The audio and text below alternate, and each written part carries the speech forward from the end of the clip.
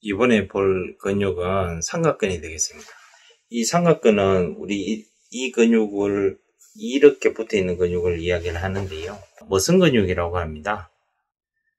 어, 삼각근의 부착부는 전부는 쇄골 외측의 3분의 1에서 중부는 견봉, 후부는 견갑골의 외축부에서 상완골의 삼각근 융기에 부착을 한다. 이렇게 되어 있습니다.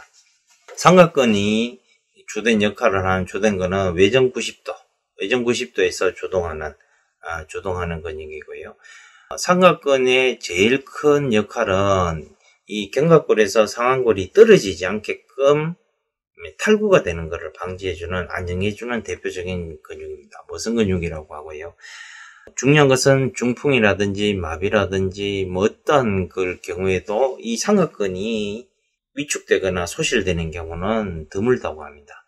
왜냐하면 어찌됐건 팔을 들어야 되겠고 이 상황골이 떨어지면 안 되기 때문에 어떠한 상황에도 이 팔을 이렇게 밑으로 처방 그러니까 못 쓰게끔 만드는 우리가 중풍 환자 같은 경우에 오면 뇌출혈이 오게 되면 반대편에 이런, 이런 식으로 되지 않습니까? 그러니까 다른 쪽이 다 마비가 돼도 이 팔이 안 떨어지게끔 이렇게 잡아당기는 그래도 기능을 계속 하는 겁니다.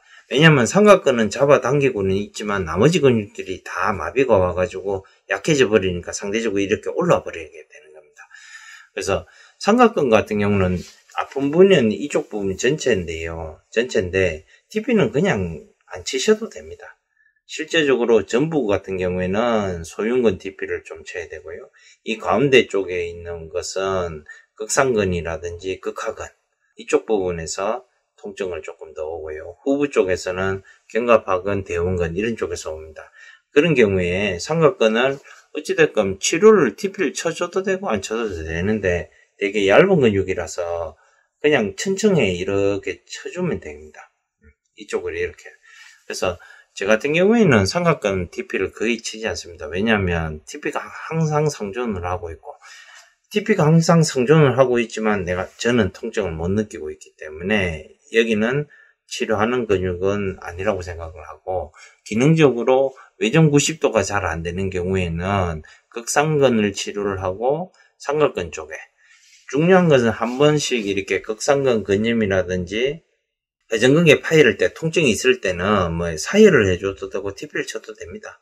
이 표적 근육이기 때문에 그리고 어떤 경우에도 손상이 별로 없기 때문에 마음 놓고 이쪽 부분에 그냥 치료를 침으로 TP를 그냥 천자해 주시면 되겠습니다. 이상입니다. 네, 삼각근은 이렇게 되어 있는데 전부, 중부, 후부 이렇게 되어 있습니다. 요 TP를 칠 때는 이런 방향으로 이렇게 쳐도 되고 네, 이 사선으로 이렇게 깊게 네, 층이 되게 얇습니다. 그래서 수평으로 이렇게 넣어도 가능합니다. 이렇게. 그래서 삼각근 정보 중부 부분. 삼각근은 완전 TP 덩어리이기 때문에 그리고 여기는 아무리 찔러도 손상이 그렇게 없는 근육입니다. 그래서 수직으로 넣든지 수, 예, 표피를 뚫고 이렇게 얇게 넣든지 그렇게 하시면 되겠습니다.